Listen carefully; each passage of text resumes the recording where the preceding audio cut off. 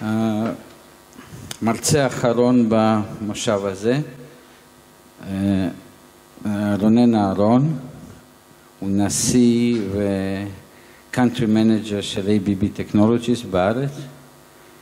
אה, רונן נמצא פה אני מקווה והוא ידבר על המגמות בשוק האנרגיה, התייעלות אנרגטית ויש לו גם נקודה, אני לא יודע איך לציין זה לזכות או לחובה, זה שפעם הוא עבד בחברת החשמל ואני מקווה שזה לזכות.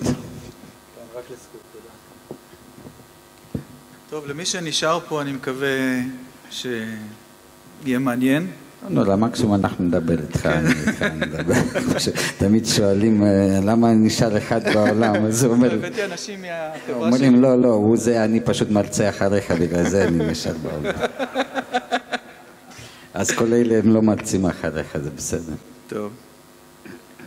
אה, אני רוצה לדבר קודם כל על המצב הנוכחי, אני לא רואה פה אף אחד עם כל האורות האלה, אה, של עולם האנרגיה, אני אביא קצת נתונים, אני אשאל אתכם שאלות ונראה איך מתקדמים. אני אדבר על האתגרים שמולם אנחנו עומדים היום אה, בתחום האנרגיה ואני אדבר על התייעלות אנרגטית.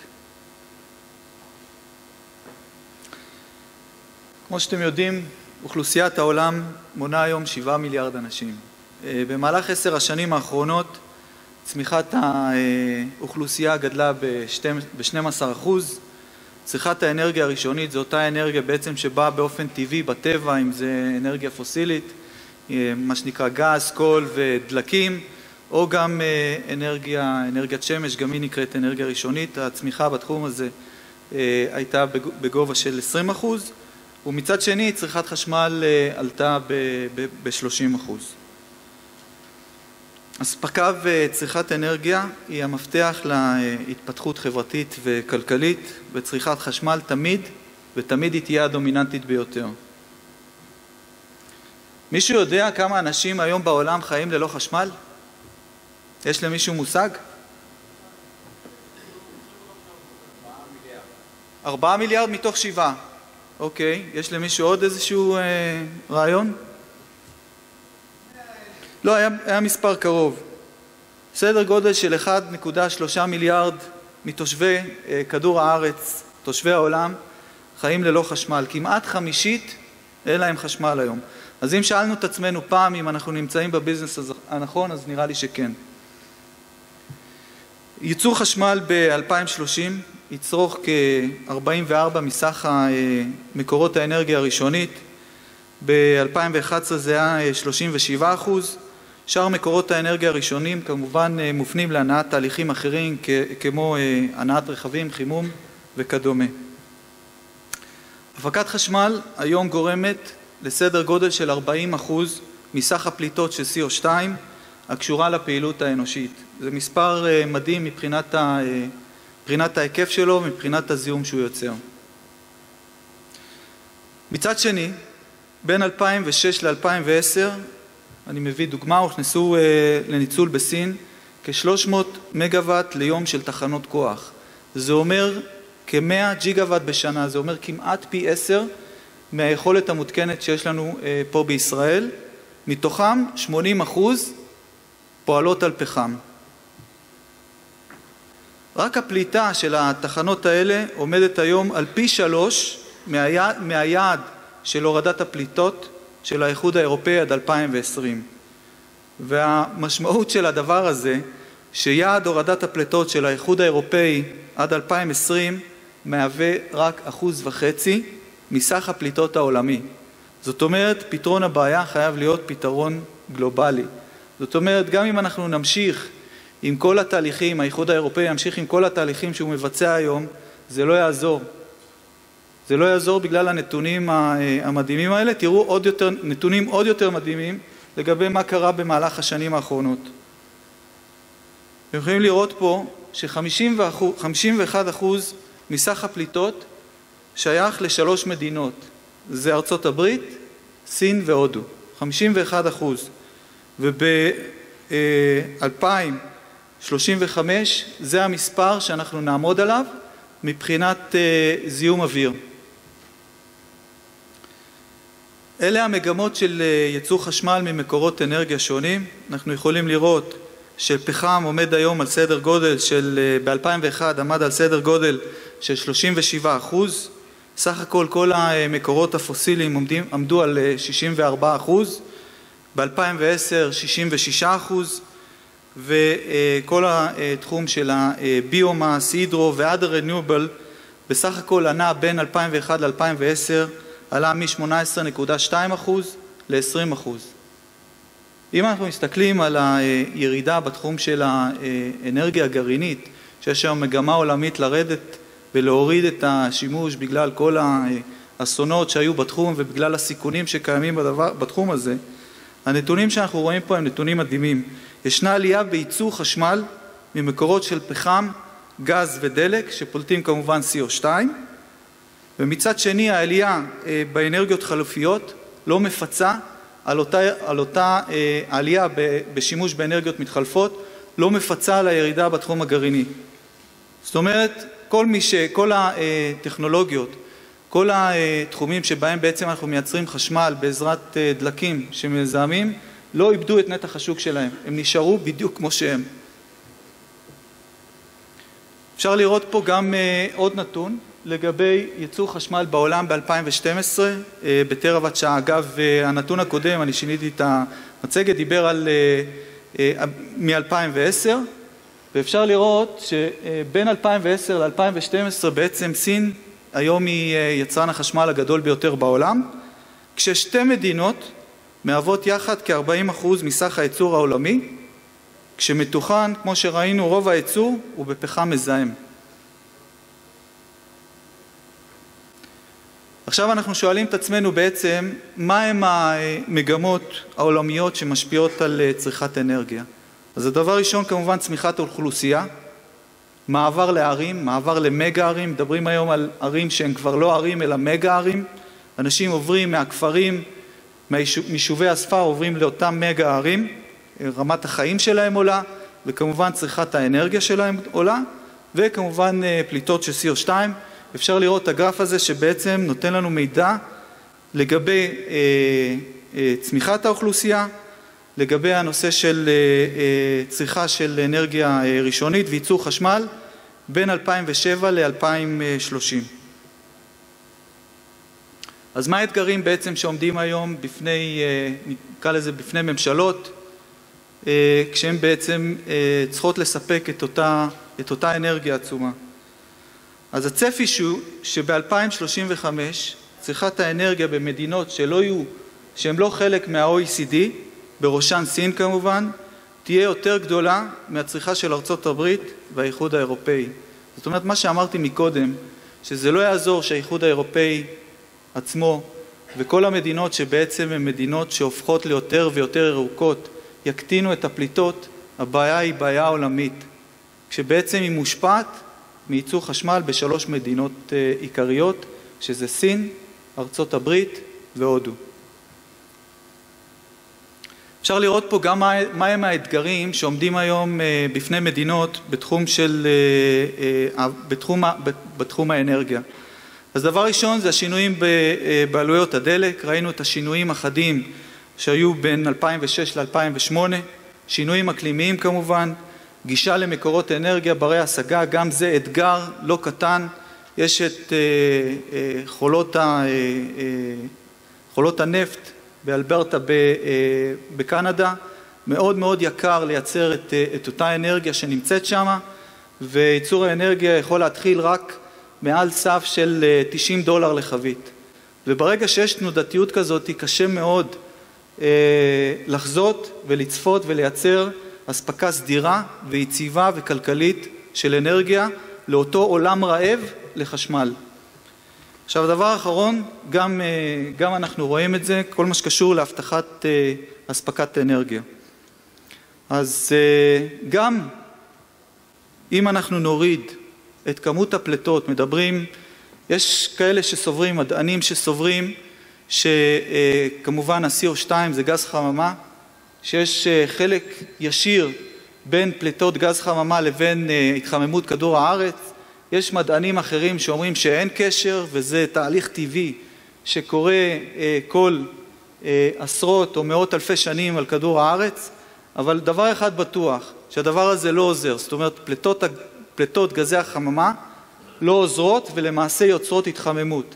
אז אם אנחנו נוריד את כמות גזי החממה שאנחנו פולטים בשנת 2050 עם כל הצמיחה של מקורות האנרגיה ושימוש באנרגיה לרמה של שנת 2000, גם אז הטמפרטורה הממוצעת על פני כדור הארץ תעלה בשלוש מעלות. המשמעות, המשמעות של הדבר הזה היא אסון מבחינה אקלימית. אז מה עושים? אז קודם כל אנחנו רוצים להקטין את התלות של בין צריכת האנרגיה לבין הסיום הסביבתי שהיא יוצרת. מה אנחנו עושים? יש למישהו רעיון?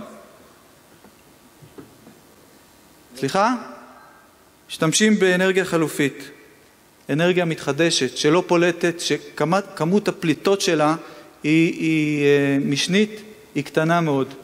כמובן שלייצר אותה גם אני אה, נדרש, אה, כמובן זה גם תהליך שפולט, אבל הכמות היא מזערית וזניחה. ומצד שני, אני רוצה להקטין את התלות שבין צמיחה כלכלית לבין צריכת האנרגיה.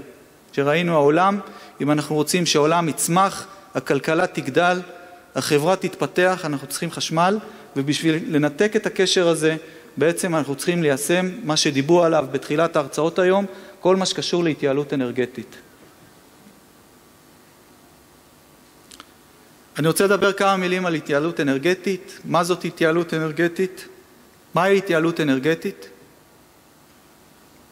התייעלות אנרגטית זה לעשות יותר עבודה עם אותה כמות אנרגיה, או מצד שני זה אותו דבר, את אותה עבודה עם פחות אנרגיה. כמובן שיעילות אנרגטית, יש הרבה מאוד אה, בלבולים בעניין הזה, יעילות אנרגטית זה לא שימור אנרגיה, זה לא אנרגיות אה, אה, מתחדשות וזה גם לא רשתות חכמות. וכשאנחנו בודקים תמהיל של פתרונות שקיימים בשוק בכל מה שקשור להתייעלות אנרגטית, אנחנו בוחנים למעשה את ה... אנחנו ממפים את זה על בסיס של חמישה סיגמנטים, אפשר למפות את זה אחרת, אנחנו בחרנו למפות את זה בצורה הזאת. מוצרים שהם לא רלוונטיים להתייעלות אנרגטית, הם לא תורמים כלום לשיפור ההתייעלות. התחום השני זה אותם אנייבלרים שבעצם עוזרים לנו למדוד את השיפור בהתייעלות האנרגטית. יש את אותם אה, מוצרים ומערכות שיוצרות את ההבדל הקטן, הם נקראות minor differentiator, זה אותם אה, מקררים כשאנחנו באים לבחון אה, איזה סוג מקרר אני קונה לבית, בדרך כלל היעילות האנרגטית אצל רוב האנשים נמצאת בין ארבע, בין במקום ארבע עד מקום שש בקבלת ההחלטות. התחום הבא זה אותם מוצרים שבעצם הם אה, מהווים מבדלים משמעותיים, כשהם נמצאים בין שלושת ההחלטות הראשונות שבהם אני מקבל על מנת לקנות את אותו מוצר, זה, זה חלק משלושת הקריטריונים הראשונים וביניהם זה לדוגמה אה, מכוניות יותר יעילות. אני לא אקנה מכונית שהיא לא יעילה, או אני אה, בין שלושת הקריטריונים הראשונים שלי כשאני אלך לקנות אוטו, אז אני אבדוק את הנצילות, את היעילות שלו וכמה קילומטר הוא עושה לליטר, או שאני אלך לקנות רכב חשמלי אה, כאלטרנטיבה. והתחום האחרון זה אותם טריגרים, שאותם אני קונה בשביל לחסוך אנרגיה. זה אותם מנורות, מנורות אה, ניאון, שאנשים יותר ויותר אה, משתמשים היום בבית, יש בכלל יצאו חוקים אה, להגביל לחלוטין את השימוש במנורות להט, אבל אותן מנורות נקנות בשביל לחסוך אנרגיה. אז אפשר לראות פה את התמהיל השלם, את הסיגמנטים השונים שבעזרתם בעצם אני אה, אה, בודק וממפה את המוצרים והמערכות שנמצאות היום בשוק על מנת לפתור את כל הנושא של התייעלות אנרגטית. יש פה שקף, בהתחלה הוא נראה אה, קצת אה, מורכב וקשה, אני לא אוהב... שלוש. דקות, כן? כן. אני לא אוהב אה, שקפים כאלה, אבל אפשר לראות פה מהשקף הזה שאם אנחנו נמשיך באותה כמות של פליטה בין, באותה דרך, מה שנקרא אותו current trend, בלי להשתמש בהתייעלות אנרגטית, בין שנת 2000 ל-2030 אנחנו נגיע לרמות עצומות של פליטות של CO2 ומצד שני אם אנחנו אה, נשתמש בקריטריון, נקרא קריטריון של 450 שהאיחוד האירופאי אימץ אותו, 450 פארט פר מיליון, אז אנחנו נצליח להוריד את, אותה, את אותם כמות, כמות פליטות לאותה רמה, ב-2030 לאותה רמה קרובה שהייתה ב, בשנת 2000. ואיך עושים את זה? הלכו וניתחו ו-57% מתוך הקטנת פליטות האלה ניתן לעשות את זה בעזרת התייעלות אנרגטית. השיפור ביעילות אנרגטית בעולם היא הדרך המהירה, הנקייה והזולה ביותר להקטין את פליטות גזי החממה, זה משהו שיצא ב-2007 על ידי אותם שמונה מדינות ובממוצע כל דולר שמושקע בהתייעלות אנרגטית במפעלים ובבניינים מונע כשני דולר בהשקעה באספקת חשמל. אלה מספרים מדהימים מבחינת הנתונים שהם מייצגים. אני רוצה אה, לעבור הלאה ובעצם אה, אולי לסיים כי אה, תוך עשרים דקות קשה מאוד להביא את, אה, את, אותם, אה, את כל המידע שקשור להתייעלות אנרגטית ומדברים על זה המון ויש איגודים בתחום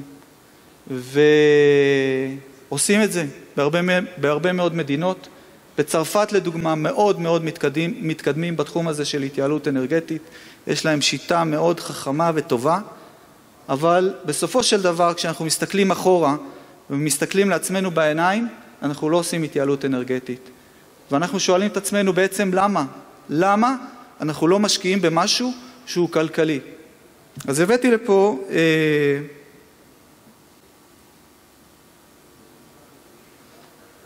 כמה סיבות שבגללם לא משתמשים בהתייעלות אנרגטית עד היום. אז הדבר הראשון זה קודם כל חוסר מודעות לפתרונות קיימים. הדבר השני זה חוסר מודעות לעלות הכוללת של חיי מוצר. מתעלמים מזה. מוצר יש לו אה, מה שנקרא life cycle cost והעלות שלו אני הראיתי בשקף קודם, אני אה, לא אספיק להראות לכם, אבל העלות של קניית מנוע היום היא סדר גודל של 2% מעלות צריכת החשמל שלו לאורך החיים שלו. זאת אומרת, תוך כמה חודשים אני בעצם מכסה את עלות הקנייה שלו. ואנשים לא לוקחים, אנשים, מהנדסים, מקבלי החלטות, לא לוקחים את זה בחשבון. חישובי ביצועים וראייה לטווח קצר בלבד, שכמובן נתמכת על ידי כוחות השוק. אנליסטים, מה לעשות, מסתכלים לטווח הקצר, וכשבודקים חברה בודקים את הביצועים ואת היכולות שלה, תמיד בודקים אותה רבעונית ובודקים אותה, במקרה הטוב בודקים אותה שנתית. ולכן בדרך כלל מנכ"לים ומקבלי החלטות נרתעים מלבצע השקעות שלמעשה יש להם תקופת החזר ולוקח זמן עד שמקבלים את ההחזר בהשקעה אה, כמו תחום של התייעלות אנרגטית. מחסור במקורות מימון, צריך מקורות מימון, במיוחד בתקופה שיש בה של משברים כלכליים ויש מחסור היום בשוק ובנקים, גם הבנקים עצמם נרתעים מלהשקיע אה, בהתייעלות אנרגטית. זה נושא מורכב שדורש מומחיות וזמן למתן פתרונות אופטימליים. יש הרבה מאוד שרלטנות בתחום הזה שיצרה חוסר אמון שאכן הפתרונות עובדים. מצד שני יש לנו את האופי הישראלי מה לעשות, אם זה כל כך פשוט אני אעשה את זה בעצמי, הרי באים אליי עם פתרונות כל כך פשוטים, אני אעשה את זה בעצמי, בסופ, בסופו של דבר מה שקורה שלא נעשה שום דבר. יש גישה דפנסיבית של אצלי הכל תקין ולא, אין אצלי מה לתקן, אני יעיל אנרגטית ואני גם לא רוצה שיגידו לי או שהנהלה תגיד לי אחרי כמה שנים למה לא עשית היום, עד היום את, ה, את כל הנושא של התייעלות אנרגטית. יש קונסרבטיביות, גישה של אל תיגע במערכת עובדת, never touch working system, והתעסקות בעיקר בשוטף ולא בראייה אסטרטגית לטווח ארוך, חוסר תמיכה של המדינה בקידום הנושא, במימון ויצירת תרבות וסביבה של חיסכון באנרגיה. כמה מילים לסיכום. פליטות של גזי חממה היא בעיה גלובלית, היא משפיעה ותשפיע על החיים שלנו עכשיו ובעתיד. ישנם כלים טכנולוגיים זמינים שניתן להשתמש בהם היום על מנת להגביר את הנצילות האנרגטית. זאת האחריות שלנו לטפל בנושא הזה היום. בסופו של דבר כולנו נלך מפה, השאלה מה נשאיר מאחורינו. והדבר האחרון, אני רוצה לסיים באופטימיות, אני בטוח שהדבר הזה יקרה, ויקרה גם בישראל. לא בגלל היתרונות הסביבתיים שיש לדבר הזה, אלא כי אני מאמין ויודע שהפתרונות האלה הם פתרונות כלכליים שמתקבלים מהקטנת אה, תשומות הייצור, פחות תחנות כוח ופחות מערכות הולכה. זאת אומרת, זה משהו כלכלי שיתרום לא רק למדינה, אלא גם ביכולת שלנו כחברה, כמדינה, כיצרנים, להתמודד עם מתחרים שבאים מחוץ לארץ. אז זה מה שהיה לי להגיד על הנושא של התייעלות אנרגטית. תודה רבה על ההקשבה. תודה לרונן.